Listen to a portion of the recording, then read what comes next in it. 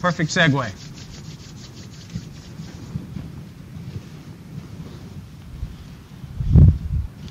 Step one, the same step, nothing has changed. Inputs equal outputs. 50,000 equals 50,000. So we're all good with that. Step two,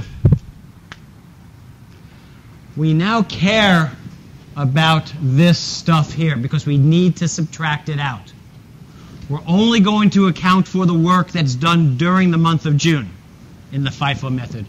In the weighted average method, we said, you know what, any work that was in process, we're going to account for that also. The cost per units might be a little different, but it's okay. Right now, we have to subtract out this stuff that was done in a previous period. That's the big difference. You have to subtract out the equivalent units, and you have to subtract, uh, subtract out the costs associated with those equivalent units when you do the math. It's the main difference. So we know that these units were done to these percentages, which allowed us to calculate the equivalent units for materials, labor, and overhead. Everything else here down to here is the same. Down here, though, we have the total equivalent units we calculated for the weighted average method. We then subtract out the equivalent unit, the work that was done in a previous period.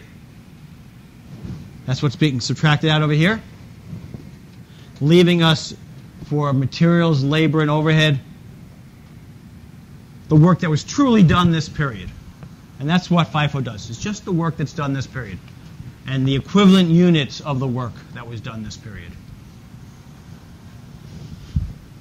Okay? The primary difference between the two. That's step two.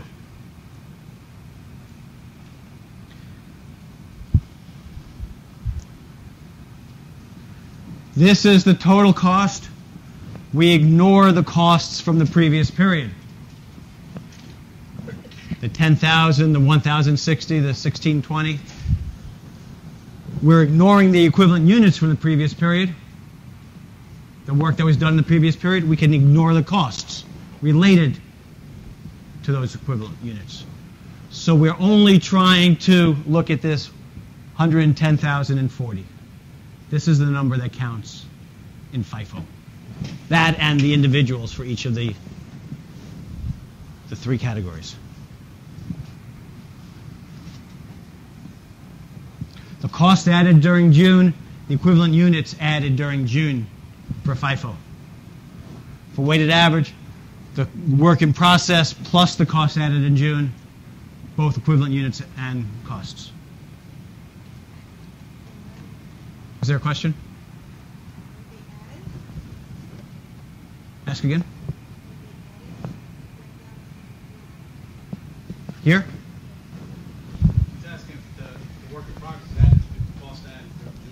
Not for the FIFO method. I just used the same slide.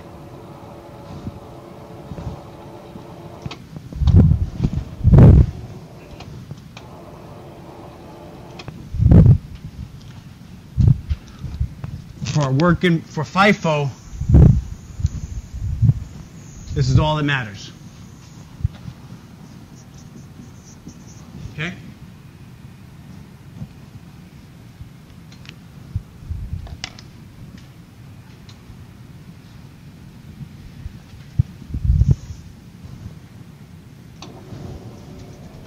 Gonna miss work? You gonna miss work? No. Mm. It's all that matters. So we calculate the cost per equivalent unit now. These were the costs that were added in June. Remember, it's just that one line, not the whole amount. These were the equivalent units from June, subtracted out the work that was done previously, and you started with and you get an equivalent unit per category. And you see it's a little bit different. I think this total was $2.53, if I remember correctly, for weighted average. So it's a different cost. This truly represents the costs in June. The other kind of smoothed it out using some costs from the previous period. Okay? We're not quite done. Step five is a little bit different. But again, we're dividing our costs by our equivalent units. FIFO method.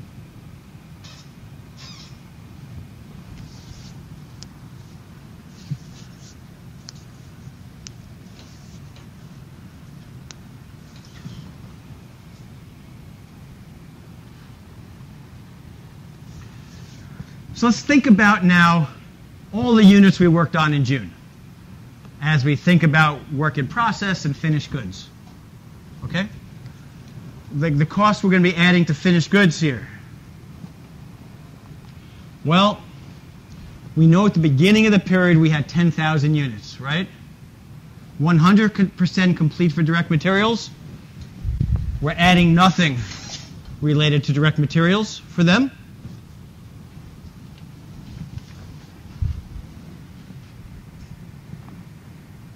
Um, so make sure I say this right.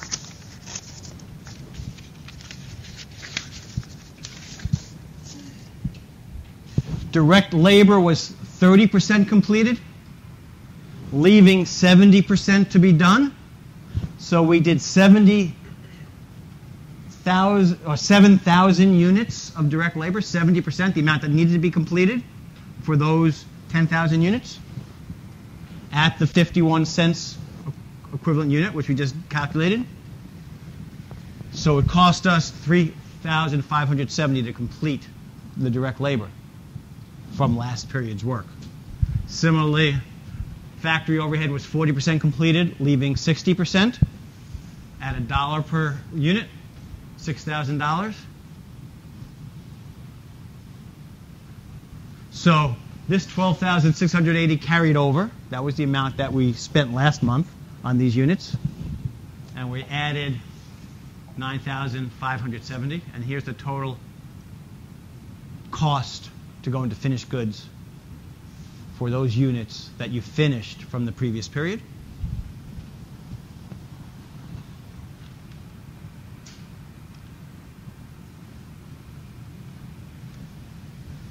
That's what this is. Then we started and completed 34,000 units. How do we know that?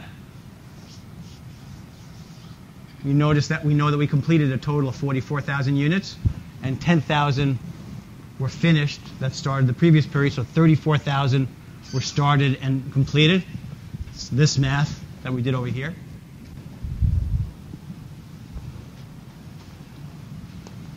At the full cost, the cost of that was 87,740. So the total cost of everything that you're done with in your department, that you're sending on to another department or it's finished, is 110,990, the sum of those two. Now you have some stuff left in work in process. You worked on this period. It's going to be finished next period. You have to assign the cost based upon the percentage complete on them. Direct material, 6,000 units, all completed for materials, 50% completed for labor, 60% completed for overhead at the assigned equivalent unit costs.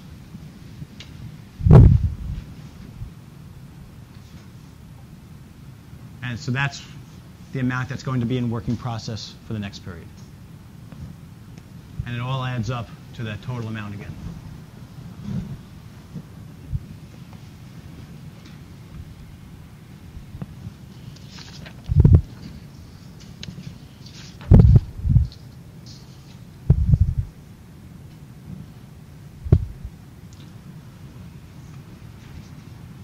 So two things have happened in this. We did all this math. Or we, we looked at all this math. We didn't do it. The one we've assigned for accounting purposes the amount of the cost that's going from work in process to finished goods. and we've assigned an amount that stays in working process inventory to be finished next period. That's the net effect of these processes. So how do you choose between the two? Weighted average is easier. FIFO is a little bit more complicated, not terribly. Once you get used to it, it's just subtracting out some numbers at the end of the day, but you have to get used to it. If your month to month costs don't fluctuate much, your per unit cost doesn't fluctuate much, then you might as well do weighted average because it's easier. But if you have like a, a large component that's of, of, direct material, let's say that's oil, that you know, the prices fluctuate, or for some reason your labor costs fluctuate from month to month, then FIFO is more appropriate. But if you're pretty stable from month to month, weighted average is going to give you a good enough answer.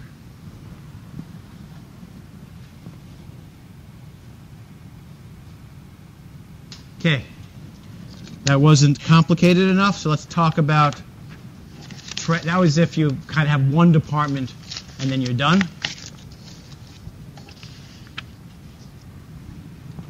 But you might have a fourth category of inputs. You have direct materials, direct labor, and um, overhead.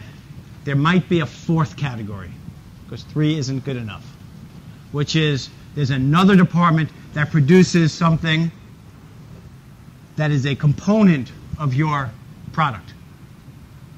You have a department that creates a computer chip and you assemble computers. So you're going to get those computer chips transferred in. It's not really a direct material, but it's treated just like a direct material that comes in at the beginning of the process. That would be a transfer in cost.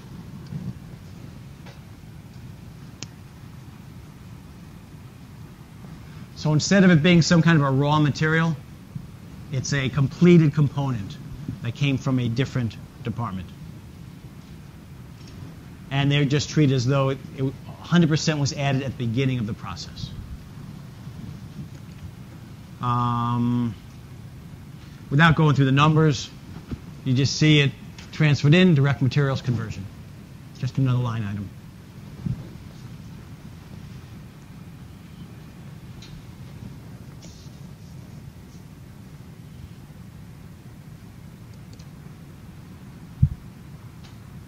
We don't need to do that. So the production cost reports, kind of like the job cost report, just brings it all together. It talks about the physical and the equivalent units. All five steps are identified in the production cost report. That's really all it is. Each department in a company would have their own production cost report because they have their own process costs. Remember that each department would have its own work in process file, or work in process account, excuse me. This is what a production cost report might look like. Up top here, we're accounting for the physical units, units in, units out. Here we're converting those units to equivalent units based upon com percentage completions and based upon whether it's a FIFO company or a work, uh, weighted average company. Then we calculate our costs for the period. We divide the costs by the equivalent units to um, have a cost per equivalent unit. And then you figure out what's left in work in process, what's transferred out as finished goods or going to another department. So the production cost report, no new information here, just organizes the information on a single report for each department.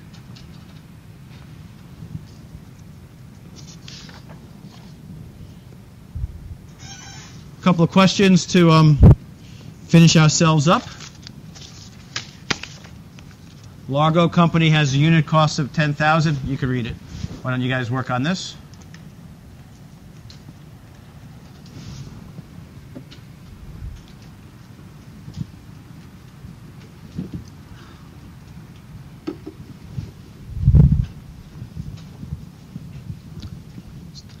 I like yays. That's good. Okay. You want to go? Anybody want to go through this? Or we we got it. You want to go through it? Okay. So.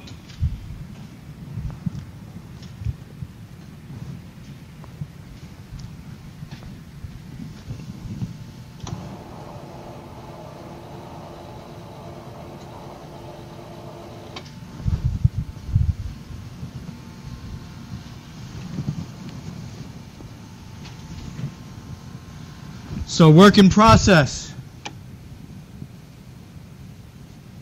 We know that we're fully complete as to materials. So, there were 2,500 units at $10 per unit.